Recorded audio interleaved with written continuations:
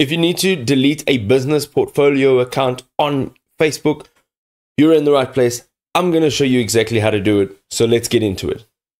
So we'll start our journey here in Facebook. On the left hand side, you will see a menu. You are going to click on see more and you're going to look for ads manager. Now, essentially, you are going to jump into your ads manager or uh, you can also get to the spot by going through the Meta Business Suite.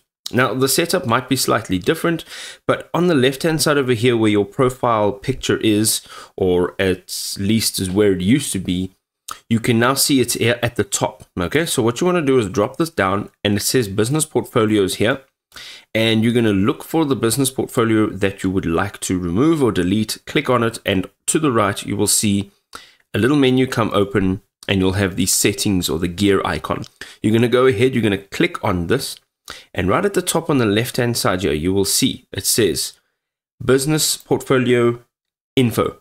You're going to go ahead, you're going to click on this, and to the right, you will see permanently delete business. Now, if you click on it, it'll give you a bit of information, and all you need to do is click on delete portfolio. I hope this was helpful.